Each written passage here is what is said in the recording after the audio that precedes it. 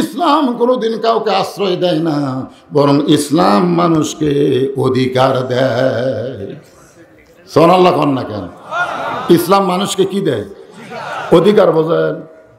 ইসলাম যদি বাংলাদেশে চালু হয়, একটা গরিব মানুষও বাড়ির থেকে বার হওয়া লাগবে না।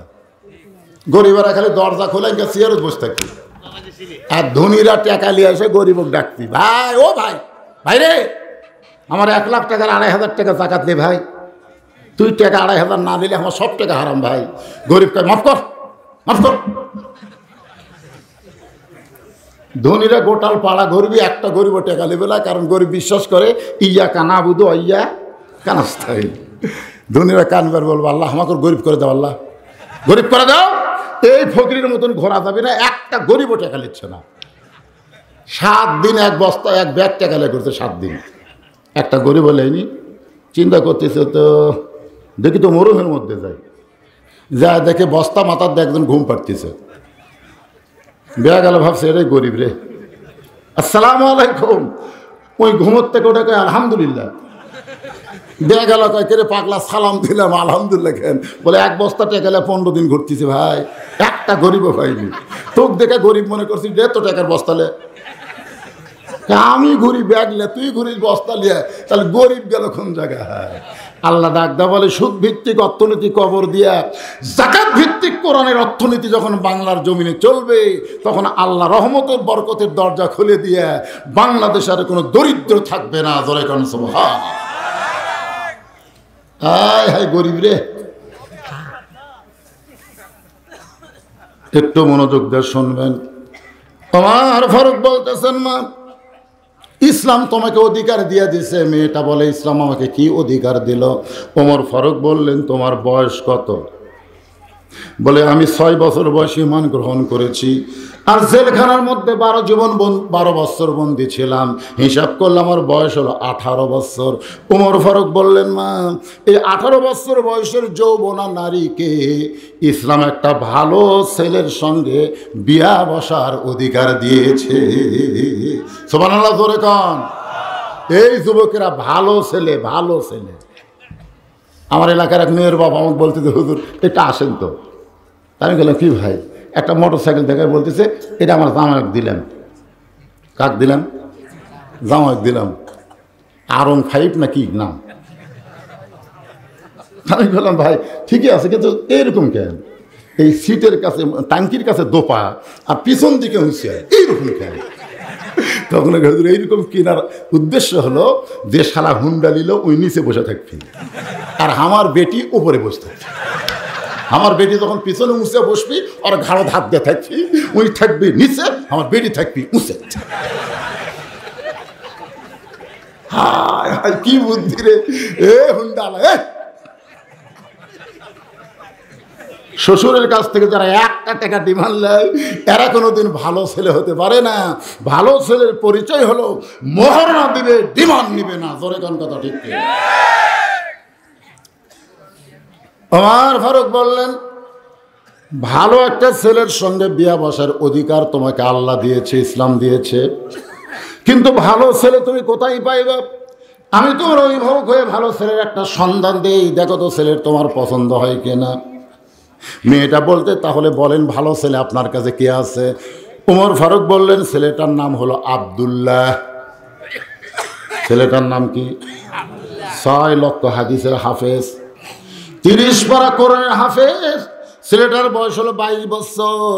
ছেলেটা লম্বায় হলো ছয় ফুট দুই ইঞ্চি গায়ের রং ফর্সা চাঁদের মতন চেয়ারা বাবার নাম হলো উমর।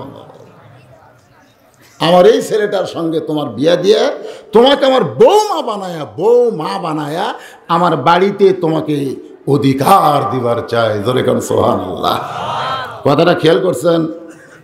কি মা? জোরে আপনাকে দিনাজপুর লোকেরা বেটার বউ কি কন? বউ কয়? বেটারও বউ আপনার বউ?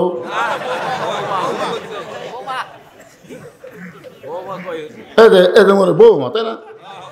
বেটার বউকে আপনারা কি কন? যারা বুঝতে মুরব্বী করে বলতেছে, কি কন? আরও জোরে।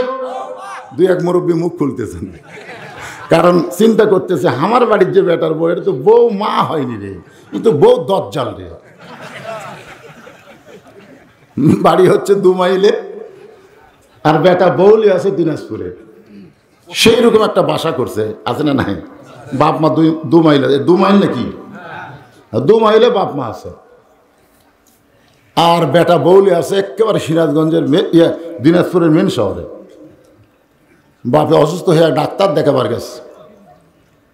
বড় ডাক্তার সিরিয়াল লম্বা দেখতে দেখতে রাত নয়টা বাজছে। এখন বাবা চিন্তা করে এই নয়টার সময় দু মাইলে কেমনে যাই? মন বলতে থেকে তোর বেটার বাসা নাই? এত রাত্রে তোর দু মাইল হালুয়া ঘাট দেওয়া লাগবে খেন বেটার বাসার যা। রাত নয়টার সময় বাপ বেটার বাসার যা ডাকতেছে, আবদুল্লাহ! বেটার নাম হলো আবদুল্লাহ। আবদুল্লাহ রে! আবদুল্লাহ কয়, কে আমি সাহেব, আমি স্যার। আমার নাম ধরে ডাকে কে রে? আমার নাম ধরে ডাকার মরদকে গেট খুলে দেখে বাপ খাড়া হয়ে আছে। আব্বা, আপনি তো আসেন না হঠাৎ। বিপদে যাচ্ছি নয়টা বাজে গেছে, ডাক্তার এখন বাড়িতে কেমনে যায়? এই জন্য তোর বাসা আবদুল্লাহ হাত ধরে নিয়ে রেস্ট হয়ে বসাইছে। আব্বা, একটু বসেন। বাপরে বসায়, বইয়ের ঘর যা দেখে বউ কম্বল গাও দিয়ে শুয়ে আস বইয়ের কানে ফিস ফিস করে বলতেছে, আব্বা তো কোনোদিন আসে না, আজকে বিপদ যাচ্ছে আব্বার সামনে একটু খাবার দাও, আব্বা খুশি হবি। বউ বলতে, তুমি জানো না লক্ষ্মীটি, সকাল থেকে আমার মাজা বেদনা, পিঠ শিরশির করতেছে। আমি উঠবারে পারব না, তুমি তোমার বাবা খাবার দাও। বাপ রাগ করে বলতেছে, কে রে আবদুল্লাহ, আমার অসুস্থ বউরে কষ্ট দিস কেন? তুই কি মনে করছিস আমি না খেয়ে আসি আমার থাকার জায়গা নেই, সেজন্য তোর বাসা থাকছে। আবদুল্লাহকে আব্বা, তাহলে খাওয়া লাগবে? না না না, খাওয়া লাগবে না। রাত নয়টার সময় বাবা না খেয়ে ঘুমায় গেছে। রাত এগারোটার সময় আবদুল্লাহর শালা, আবদুল্লাহর বইয়ের নাম হলো শেফালি, ডাক দেয় শেফালি আপা। বিড়াল যেমন ইন্দুর ধরে, কম্বল ফেলা দিয়ে মারছে লাভ আবদুল্লাহ তাকায় দেখে কম্বল আছে, বউ নাই। গেট খুলে বলতেছে, ভাইজান, এত রাত্রে থেকে আসলি? বলে ক্রাম বোর্ড খেলতে খেলতে রাত হয়ে গেছে। স ডাইনিং টেবিলে বস, খাবার দিব। বলে, খাওয়া লাগবে না, থাকতে চাই। বোন কান দেয়ার বলে, ভাই রে, তুই না খেয়ে ঘুমাইলে আমার চোখত ঘুম ধরবে না। ভাত গরম, মাছ গরম, গোস্ত গরম সব কিছু গরম করে ভাইয়ের সামনে দিয়ে বলতেছে খাভাই খাভাই তুই না খাইলে আমার কলিজার শান্তি নাই। আবদুল্লাহ ঘরের ভিতর থেকে চিন্তা করে, নয়টার সময় আমার বাবা এলো, তোর মাজা বেদনা পিঠ শিরশির করে। আর এগারোর সময় খাভাই খাভাই বার হয়ে দেখে ছয় তরকারি গরম ভাত। শালার মাথার বইয়ের হাত। খাভাই আর এক টুকরা খাভাই আবদুল্লাহ আস্তে আস্তে, বাবা, যেই ঘরে ঘুমাই জানলার কাছে, জানলা দিয়ে তাকায় দেখে জিরো বাল্বের আলোতে বাবার শুকনা মুখটা দেখতে পায় চোখের পানি বের করে বলে, আল্লাহ যে বাবা না খাই আমার এলাকা লেখাপড়া করাইলো। যেই বাবা মাটির বিছনার শুয়ে থেকে আমার খাট বানায় দিল, আজকে সেই বাবা আমার না খেয়ে ঘুম পাড়তেছে। আর শালার সামনে ছয় তরকারি, গরম ভাত। অকাদা রব্বুকা আল্লাহ তাবুদু ইল্লা ইয়া হুয়াবিল অলিদাইনি এহসানা ধরে সোহান আল্লাহ ইমান বলতেছে, আবদুল্লাহ আবদুল্লাহ আত্মাকুল্লাহ হাক্কা তুকাতিহি। আল্লাহর ভয় কর, যথাযথ ভয় কর। আল্লাহ পরই হলো বাপ মা। সেই বাপ তোর না খেয়ে ঘুম পাড়তেছে, এখন তোর করণীয় কি? ইমান বলতেছে। আর মন বলতেছে, নারী শাসিত বাংলাদেশ, বউকে কিছু বললে কে ছবি? ইমান বলতেছে কেড়ে ফাগলা বলার মতন বল, চোখ বন্ধ করে, একটু খেয়াল কর। আবদুল্লাহ চোখ বন্ধ করে দেখে, বাসাতে একটা উটি বলা, এর নাম কি? বেলনা আছে। মন বলতেছে, কে ছবি? ইমান বলতেছে, জাগা মতো মার। এমন জায়গাত মারবি, কেস হবি না পাগলা? কারণ দেখা বাড়ি পারবি না, কেস করতে হবে। পিছন দিকে তাকে দেখ, উঁচা হয়ে আছে। ওই উঁচা জায়গার উপর বিসমিল্লা কয়ে যে কয়টা বাড়ি মারবো, সে কয়টা হজের সব। এখন তুই কয়টা মারবো, চিন্তা কর। ইমানের বলে বলিয়ান হইয়া, ইমানের দাবি যদি কুরবানি হয় সেই দাবি বইয়ের ভয়ে বসে থাকা নয়। সবাই বলেন, ইমানের দাবি যদি কুরবানি হয়, সেই দাবি বইয়ের ভয়ে বসে থাকা নয়। আস্ত করে বেলনা হাতত লিয়ে বইয়ের পাশে গেছে। বউ খালি ভাই বলতে, এক টুকরা খা। ভাই বলতেছে, আর পারতেছি না খারে ভাই, খা। আরে, একটা খা ভাই। আবদুল্লাহকে আমার বাপ না খায় ঘুমে আছে, তোর ভাই খাবি না, তাও দিবি। বিশ মিল্লাকে মারছে ভাই। এমন জোরে বাড়ি মারছে। ফুটবলের মতন শব্দ হয়েছে বউ দৌড়, শালাও দৌড়। শালা চিল্লা কয়, দুলো ভাই, আমার বোনকে মারলেন কেন? আব্দুল কয়, তোর বোন আমার কে হয়? কয়, আপনার বউ হয়। তা আমার আদরের বউকে কেন মারলাম? যে বইয়ের জন্য আমি হালুয়া ঘাট ছাড়া দিনাজপুর শহরে বাসা করছি, সেই আদরের কলিজার টুকরা লক্ষ্মী বউকে কেন মারলাম? আয় আয়। শালা কয়, আমাকেও মারবেন নাকি? আরে মারবো না রে দেখা মায় বাবা যে ঘরে জানলার কাছে নিয়ে যায় বলতে দেখতো তাকায়। হায় হায়, আপনার বাবা কখন আইসে? নয়টার সময় আইসে। তোর বোন কলো মাথা বেদনা পিঠ শীর্ষ করে। আমার বাবা মনের দুঃখে খাইনি রে, না খায় ঘুম পাড়তেছে। আর তোর সামনে এগারোটার সময় ছয় তরকারি, গরম ভাত। এখন ক, আমি কি করি? আত্মা করলা হাপ্পা তোকাতিহি। মুসলমান হয়েছে মরবার চাই আমার করণীয় কি? তোকে দিলে ভাই আর একটা বসান। আর একটা বসান। এই শালা মেয়ার জাত খালি বাপের আত্মীয় পছন্দ করে, শ্বশুর আত্মীয় দুই চোখকে দেখবার পারে না। এই সারা জাত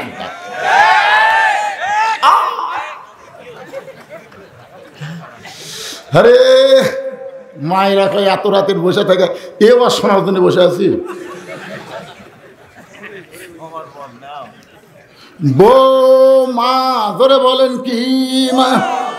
উমর ফারুক বললেন আমার আবদুল্লার সঙ্গে তোমার বিয়েটা দিয়া তোমাকে বৌমা বানায়া আমার বাড়িতেই তোমাকে অধিকার দিবার চায় মেয়েটা বলতেছে আমির আল মমিনিন, আপনি যে আবদুল্লাহর খবর দিলেন, সে আবদুল্লাহকে সবচাইতে ভালো? আপনি কিন্তু বললেন, ইসলাম আমাকে ভালো একটা ছেলের সঙ্গে বিয়া বসার অধিকার দিছে। আবদুল্লাহকে সবচাইতে ভালো? ওমর ফারুক বললেন, আমার এই দুই চোখে আমার আবদুল্লাহর চাইতে ভালো কাউরে দেখতে পাই না। মেয়েটা বলতে, সামির আল মমিনিন।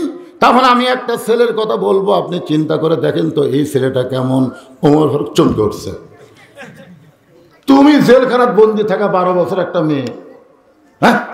তুমি ভালো ছেলের খবর কেমনে জানো? দেখেন তো কেমন। তো বলো, নাম বলো তো দেখি। বলে, ছেলেটার নাম হলো হোসাইন, বাবার নাম হলো আলী। মায়ের নাম হলো ফাতেমা আর নানার নাম হলো মোহাম্মদুর রসুল্লাহ এখন আপনার কাছে আমি জানতে চাচ্ছি, এই দুইটা ছেলের মধ্যে কোনটা ভালো? না না, আপনাদের কাছে না। মেয়েটা উমর ফারুকের কাছে জানবার চাচ্ছে যে দুইটা ছেলের মধ্যে কোনটা ভালো? সঙ্গে সঙ্গে উমর বলতেছেন, কালা রাসূলুল্লাহ সাল্লাল্লাহু আলাইহি সাল্লাম। শাবাবাল জান্নাতা হাসান হোসাইন রাদি আল্লাহ তালা আনহুমা। আল্লাহ রাসুল বলেছেন, জান্নাতি যুবকদের সর্দার হবে দুইজন একটা হাসান আর হোসাইন। আমার আবদুল্লার চাইতে তোমার পছন্দ করা হোসাইন আল্লাহর কাছে কোটি কোটি গুণ ভালো। ওমর ফারুক বলতে মেয়েটা বলতেছে তাহলে, আব হোসাইনের মতন ভালো ছেলে থাকতে আপনার আবদুল্লার সঙ্গে বিয়ে বসবো কেন? ইসলাম যদি ভালো একটা ছেলের সঙ্গে বিয়ে বসার অধিকার দেয়, তাহলে হোসাইন আর আবদুল্লার মধ্যে ভালো কোনটা? এ কথা কন, কোনটা ভালো? তাহলে হোসাইন থাকতে আবদুল্লার সঙ্গে বিয়ে বসবো কেন? উমর ফারুক মেয়েটাকে নিরাপদ আশ্রয় দিয়া পড়ন তো। বিকালবেলায় হজরত আলীর দরজায়, আসসালামু আলাইকুম, ইয়া আহলাল বাইত, আম্মা সাইলা ফালা তানহার। এই কোরআন শরীফে যে আয়াতটা বললাম, আম্মা সাইলা ফালা তানহার। এটা হলো ফকিরের আয়াত। আলী চমকে গেল, ওমর ফারুকের সালাম বোঝা যায়, ফকিরের আয়াত কেন? বার হয়ে বলতেছে আমির আল মোমিনিন, আপনি কবে থেকে আমার ফকির হলেন? বলো, ফকির না ভাই রে, আমি ঘটক হছি। তোমার হোসানের ব্যাপারে একটু ঘটকালি করবার চাই। হজরত আলী আল্লাহর শুকুর আদায় করে বললেন, আপনার মতন মহান ব্যক্তি যদি ঘটক হয়, তাহলে পাত্রী অবশ্যই ভালো হবে। উমর ফারুক বললেন, পাত্রী তোমার হোসানকে মনে মনে করে কামনা। আলী বলতেছেন, মনে মনে মনে মনে, এমন একটা মেয়ে আমি হোসাইনের জন্য খুঁজতেছিলাম। মনে মনে খোঁজা যায় যাচ্ছে মনে মনে খোঁজা যাবে। দেখে দেখে খোঁজা যাবে না। আমার এক মুরব্বী বলতেছে, হুজুর, এ পর্যন্ত সতেরো, আঠারোটা দেখলাম, পছন্দ হয়নি। আমি গেলাম বুড়া সাহেব, আবার কবে বিয়ে করবেন? তাই না হুজুর, আমার জন্য হয়তো আমার ছেলের জন্য দেখছি, হুজুর। আমি বললাম, কীভাবে দেখলেন? লাড়া সেড়া দেখছি। যাইকা হাত ধরে কয়, দেখি তো মা, তোমার হাতটা দেখি তো মা। দেখি তো মা, তোমার গালটা দেখি তো মা। এই শালা বুড়া সতেরো জনক লাড়া ছাড়া ওই লুচ্চা হয়ে গেছে। জোরে কোন, কি হয়ে গেছে? উই আর বিয়ে করা পারবি না আরও লাড়বি। মনে মনে খোঁজা যায় যাচ্ছে কিন্তু দেখে শুনে খোঁজা যাবে, কথা কন কথা কন। তোমার ফারুক বললেন, আলী রে, তাহলে আল্লাহ আমার ঘটকালি কবুল করল। এই বলে হজরত আলীকে বুকের মধ্যে নিয়ে যখন কোলাকুলি করতেছে, এমন সময় হোসেন ঘর থেকে বের হয়ে বলতেছে ই আমির আল মমিনিন, আপনি যেইভাবে আমার বাবাকে বুকের মধ্যে নিলেন, মনে হয় বিয়া আপনারাই করবেন। রাস্তাতে গেলে শয়তান কয়দিন যায় না? উমর ফারুক রাস্তাতে গেলে শয়তান কয়দিন যায় না?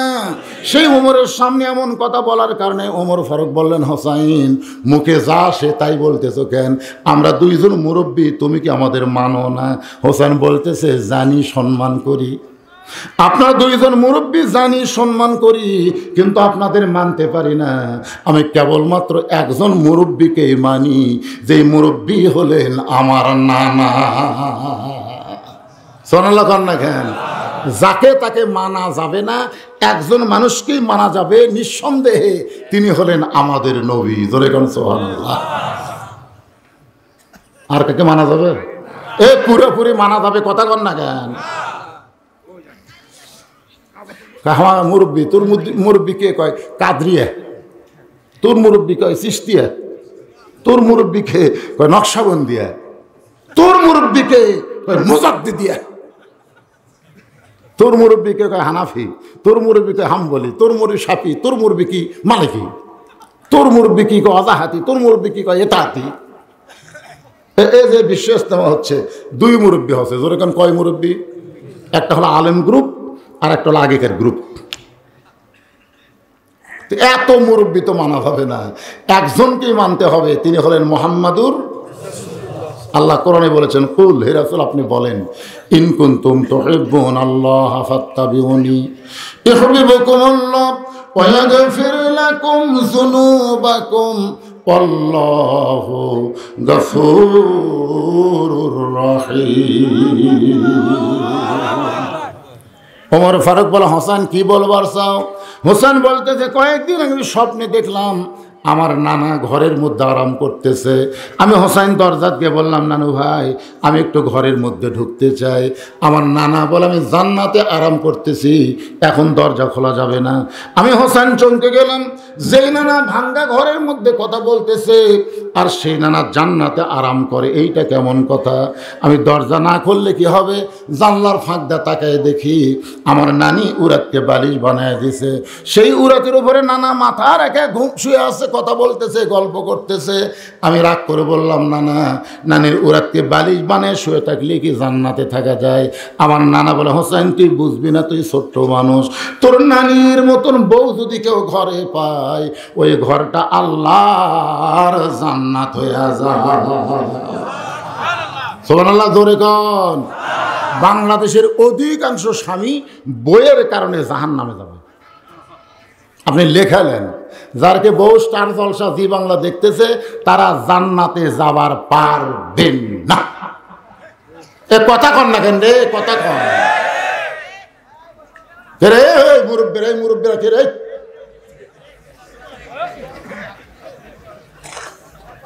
আমার কথা কি বুঝলেন? কি দেখতেছে আপনার বউ? স্টার জলসা কি হয়?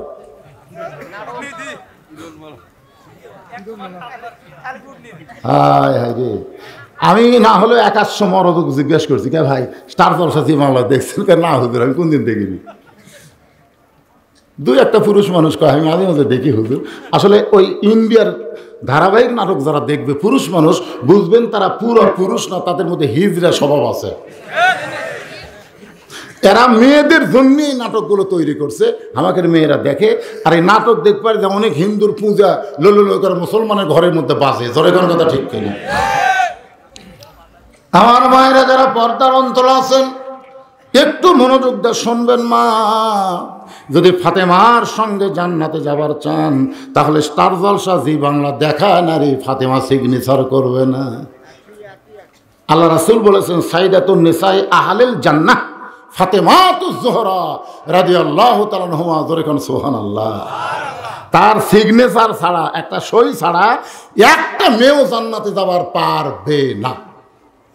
তা আপনারা কি খবর চাচ্ছেন? স্টার জলসা জি বাংলা মেয়েদেরকে মা ফাতেমা সিগনেচার দিবে?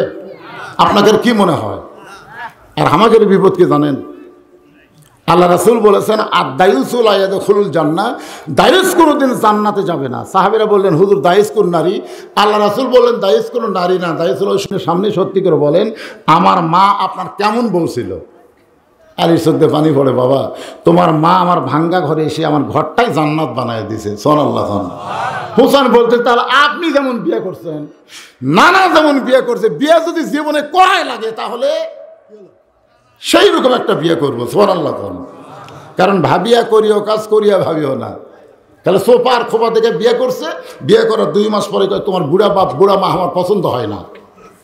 এইরকম খারাপ মেয়ে না নাই? জোরে কেন না নাই? তাই যুবকদের বলতেছে, তোমরা কারা কারা বিয়ে করো হাত তোলো তো দেখি। এই যারা যারা বিয়ে করনি, তারা হাত তোলো। এ, যারা করেনি অজকে হাত তুলবে কেন? আচ্ছা হাত নামান। আমি দেখতেছি অবিবাহিত ছেলেরা মাহফিলে কম আসে কি জন্য জানেন? যেই মাহফিলে মেয়ে মানুষ বেশি আসে, সেই মাহফিলের যুবক ছেলেরা কম আসে। কেন ওরা টালকি মারে ওই জায়গায়? এই জন্য আমি দিনাজপুরের মধ্যে আগামী বছর দিনের বেলা বেশি মাহফিল নিচ্ছি, দিনের বেলা। কারণ দিনের বেলা মাহফিল নিলে মেয়েদের কোনো অসুবিধা নেই। কারণ কে কী করতেছে সব দেখা যায়, ধরে কোন কথা ঠিক কিনা? কিন্তু এই রাত্রিবেলা খুব বিপদ রে ভাই। কারা কারা বিয়ে করছেন, তারা একটা হাত তোলেন তো দেখি, যারা আমরা করছি। মাশাআল্লাহ। কে রে ভাই, তুই করিস নি? আচ্ছা করেন, হাত নামান। যারা আমরা বিয়ে করছি, যদি দরকার পড়ে আর এক একটা যদি করা লাগে আজগার ওয়াজ শোনার পরে। কারণ যেখানে বিয়ার আয়াত আছে, শোনেন, যেখানে বিয়ার আয়াত আছে, সেখানে কিন্তু মাছ না দিয়ে মানে দুই দিয়ে শুরু করছে আল্লাহ। দুটা বিয়া করো। পারলে তিনটা করো, পারলে চারটা করো, না পারলে একটা দিয়ে ধৈর্য ধারণ করো। কিন্তু ভাই, দুই বিয়ের মধ্যে একটা মজাই আলাদা। আমরা এক বিয়ে যারা করছিস, তারা কিন্তু এই মজা পাচ্ছি না। আমাদের বউ রাগ করলেও আমাদের করার কিছু নেই। আর দুই বিয়ে যারা করছে, বউ রাগ করলে থাক, তুই থাক, ওর কাছে যাচ্ছি। দৌড়েছে পা ধরবে, জানা জানা জানা জানা জানা। দুই বউ থাকলে যা খেলা হয় ভাই রে।